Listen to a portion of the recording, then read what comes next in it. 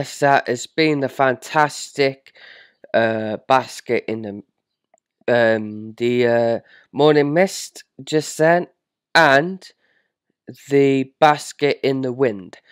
Uh, both fantastic artists and fantastic motives. Now let's go and discuss everything in today's in today's uh, radio station. Uh, so yeah, welcome, welcome to the ReaNation station. And uh, it's going to be a fantastic time. It is gorgeous weather outside. So uh, hopefully you guys can tag along and see if you can enjoy anything I have to say today. So, today's topics will be on the uh, mostly anticipated PlayStation 5, everything in the world of PS5, uh, the TV and movies, and the final one, random bit of news. So make sure you stick around for everything we are discussing today. Um, every radio station will be three top three like main talking points every day. So make sure you go and subscribe to my YouTube channel where I upload daily fantastic content as well as various of other social media. Now that's all out the way, let's begin. So, the PlayStation 5. Now, we have seen the controller and we have seen one or two games revealed for the game console. But the games I want to see uh another Sim, not Sim City, but like another city builder, like City Skylines number two. I want to see stuff like simulation games. I want to see, and I cannot wait to uh, to find out what they have, including, of course, the mostly anticipating Crash Bandicoot video game on PS5. That's not not uh, that's not like revealed or anything yet, but I am sure that Sony will not let it drop and they would make sure Crash Bandicoot returns as a launch title. So yeah, gonna be fantastic to uh, to play said console in uh, in a world where everything is happening. So, yeah, I, I think that the games for PS5 are going to be next to nothing. They are going to be top dog. They are going to be the best, freshest, spanking new games on the market. And I'll tell you for why. Because obviously, there's a lot of games coming out for PS4 as well as PS5. And obviously, with the lack of games announced for said console Xbox, uh, Sony have got the upper hand. But with Xbox, they revealed their own console, their controller, and a bunch of games, but they're not first party games. So, yes, it's uh, going to be interesting what the uh, outcome comes in terms of the sales. But overall, I'm always a Sony fan. I'm a, I owned every single Sony PlayStation console. I, I owned the PSP. I own the PS1, 2, 3, 4, and I'm going to get PS5, which is fantastic news because I cannot wait to start going on the console and seeing what the graphics have to offer. Now, the reveal event is supposed to be happening sometime in June. We all don't know when, but make sure you check on my social media, of course, to find out the latest on that. But overall, it's going to be interesting to find out how they would approach the reveal event because all the eyes in the world will be watching because no one's seen the console yet. They only seen the controller. So if the console is anything like the controller, I expect Sony to break world records and break loads of fans' minds, including the world of the internet, because the internet will explode by the reveal alone of the PS5. And yeah, it's going to be interesting to find out overall what the picture will be, but the war with Xbox, I don't think, I don't think that will, uh, I don't think that will help. So that will help Xbox because let's be fair, Sony is a fantastic enterprise in terms of home entertainment, and they are top dog in the most biggest way possible. And that has been the uh, PlayStation segment of the show. The next segment is gonna be uh, TV and film.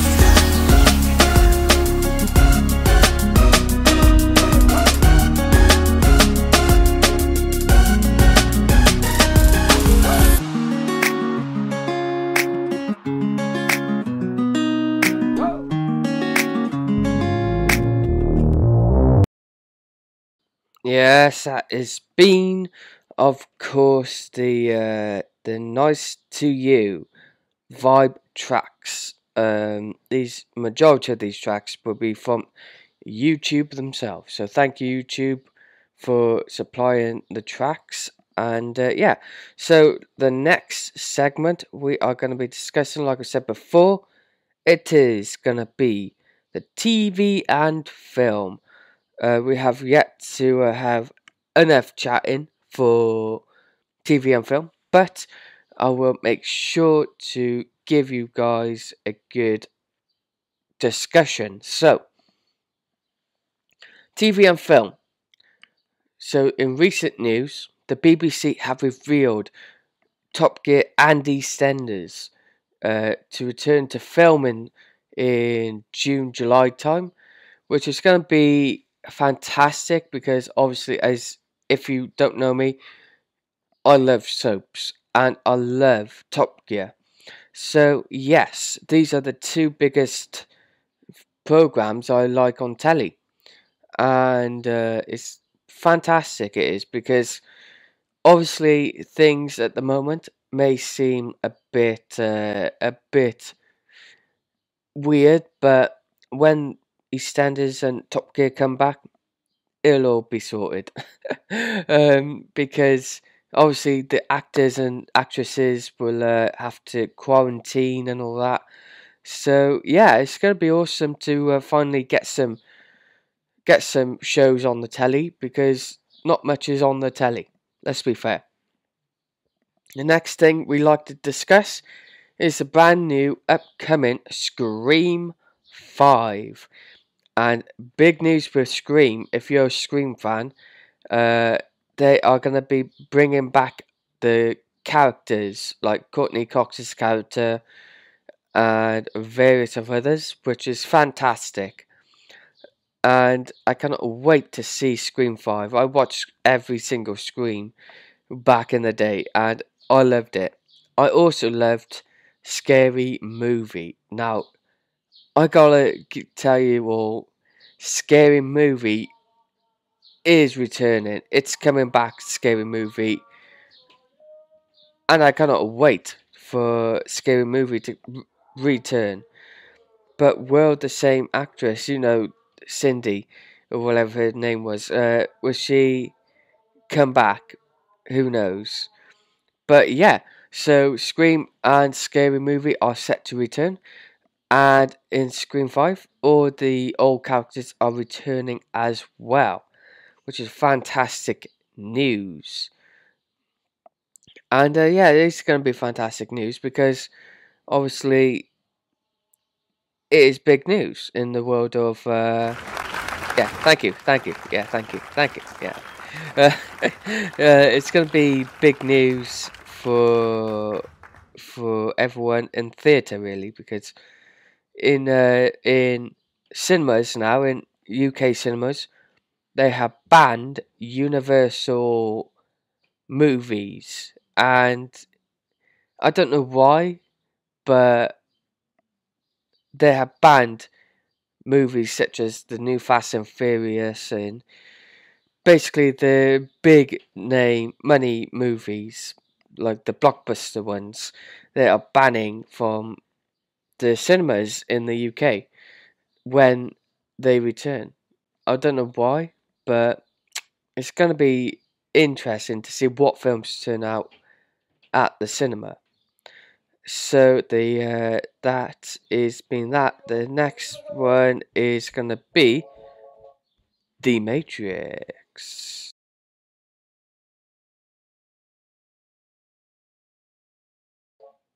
So yeah, The Matrix 4 is coming back for revenge, even though the characters Neo died, but they're gonna bring him back nonetheless, and it's gonna be fantastic to uh, to figure out what is gonna be happening. Uh, while we take a short break, here is some other stuff.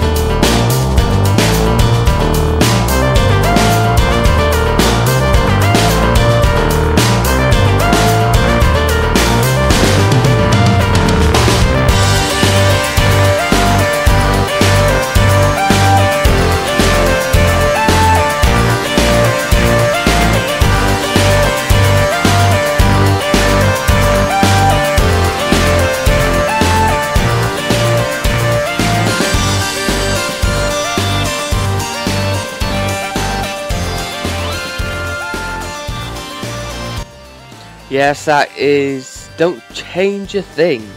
Fantastic song, of course. And yeah, let's continue on with our little movie chat while we have a bit of music at the background, of course.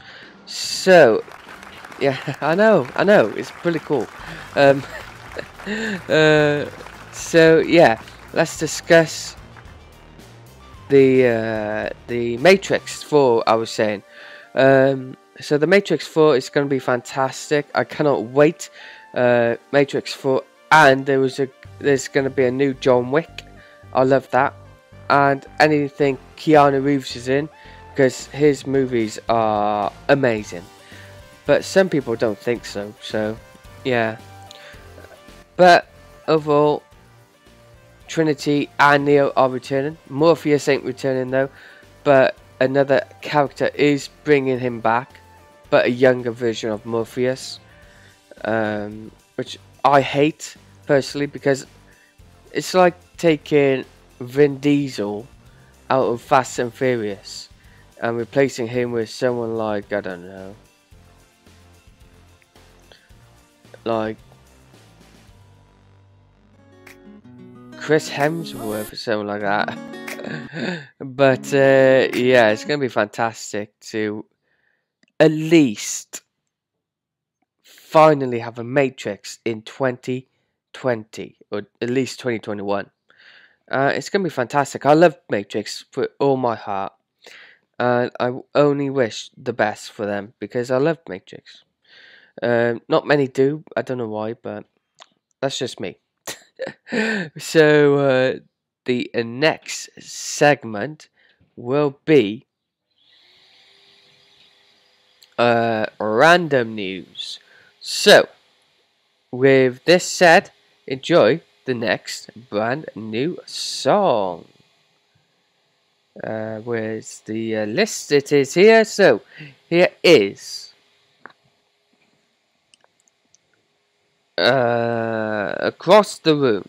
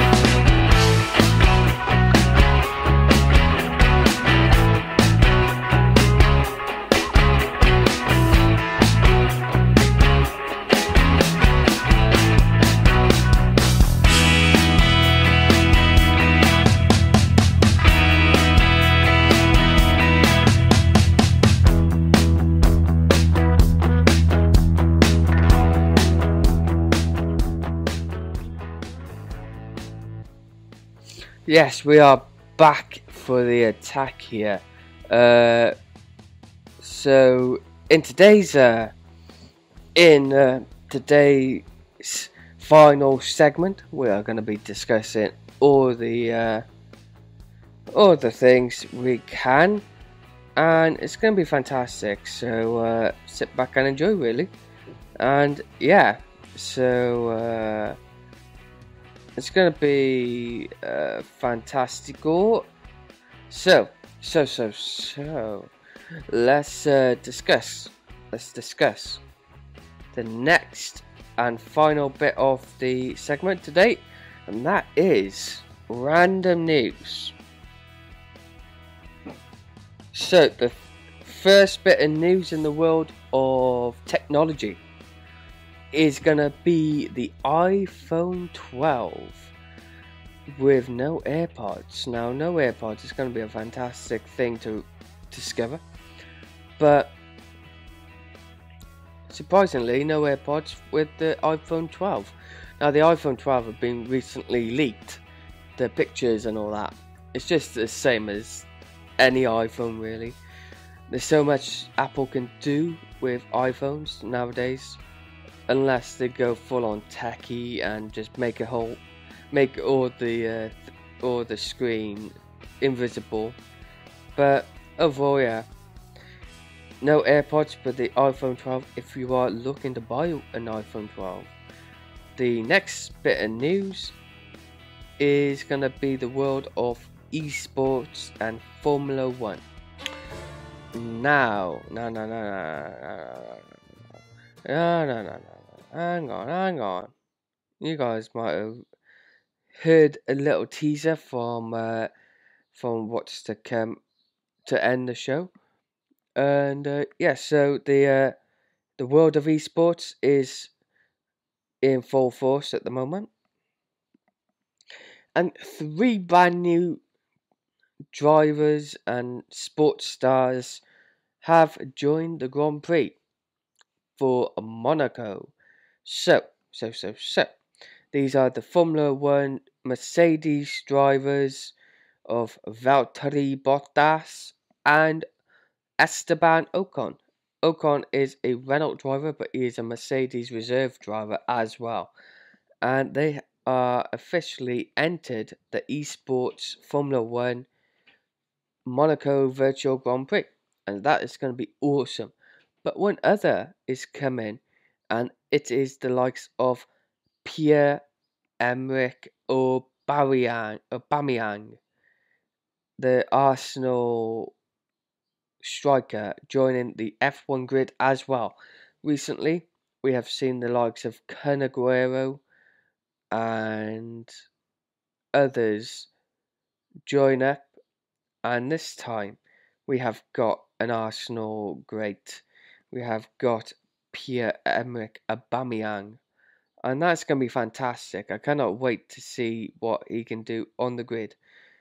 And yeah, it was interesting. It's interesting the virtual Grand Prix in the sense that uh, they get like all most the F1 real world stars, and they get celebrity stars to race in it. So we like this year we had the likes of, like I said before, Kun Aguero, but not just him. We had the likes of Ben Stokes.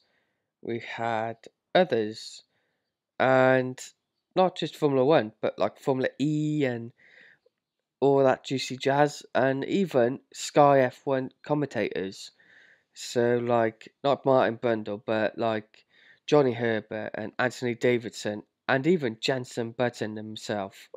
So, overall, it is a fantastic virtual Grand Prix series, and I suggest you watch it every Sunday well, not every Sunday, but whenever a real world F1 Grand Prix would have been, that's when the virtual Grand Prix is. So make sure you guys check that out. Now, the final bit of news, and this is concerning the weather, because I am a fanatical with everything climate climate change and weather. So yeah, uh, weather-wise, there has been a huge cyclone tearing itself into Bangladesh and India, killing 22 people in the process. Now, cyclones are very dangerous. Uh, they can expand massively, and it's gonna it's it's weird because because such weather events can destroy towns and cities. And yes, it's pretty frightening if one goes towards you. But in the UK, we're safe from cyclones and hurricanes and all that. Luckily, and uh, so yeah, yeah, pretty cool. Um, here is the report here on the latest of the uh, cyclone that hit Bangladesh and eastern India. So, at least 22 people died as the fiercest, as the fiercest, so that's the worst cyclone to hit parts of Bangladesh and eastern India. this century sent trees flying and flattened houses, with millions crammed into shelters despite the risk of coronavirus. Uh, the millions were left without power after Cyclone Amphan, packing winds of around 150 kilometers per hour, that's 95 miles per hour, carried away electric, electricity pylons, walls, and roofs. Uh, residents of the Indian city of Kolkata, the capital of the hard-hit West Bengal state awoke to flooded streets with the car's window deep in water and television footage showed the airport inundated. So yeah, pretty uh, pretty wild weather out there. But in the UK, it's all like going to be fantastic. Uh, the greatest heat we're going to get is up to 28 degrees in London. But where I am in South Wales, it's going to be fantastic. It's going to be like 22, 23 degrees every day now, like throughout next week as well. Maybe get a touch of rain, but that's about it, really. So, yes, it's going to be a fantastic time. Make sure you all stay safe, guys. And uh, yeah, I'll see you guys tomorrow for another ReaNation Station. But for that, make sure you show your love and support by subscribing, liking, sharing, and commenting on all social media, but mainly on YouTube. With that said in mind, thank you all for watching and goodbye.